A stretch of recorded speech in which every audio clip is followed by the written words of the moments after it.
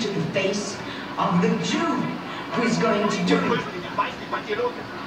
Nixie.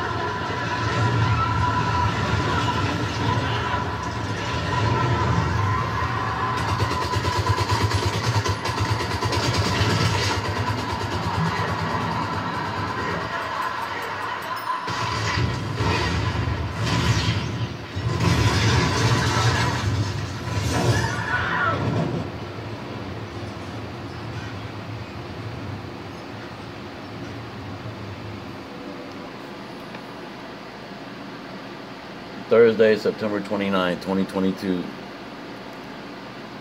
And this is the aftermath, the end scene of this hurricane.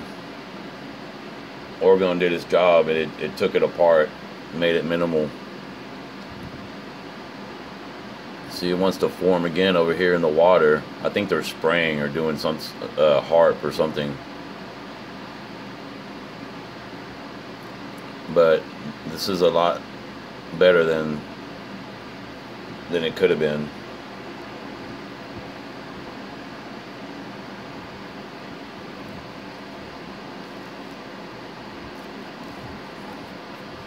And see, it's 10 o'clock in the morning, and, and see this force field right now.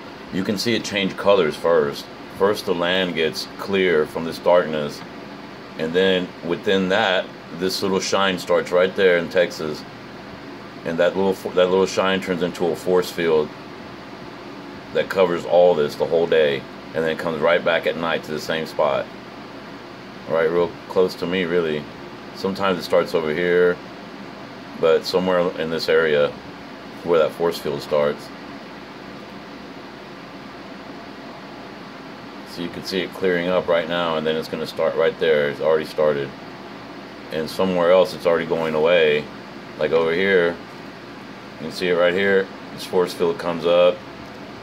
It, it like it jumps to the ley lines or something. It, it'll come up here, and then it'll go away, and then it'll pop up over here around the same time. And then it'll jump over here, and it'll start over here. See, it's already going away over here in the corner of Africa and we have right here it, it, it, was not doing this before folks so just a little heads up this hurricane is kaput. And that was the last scene for this thing.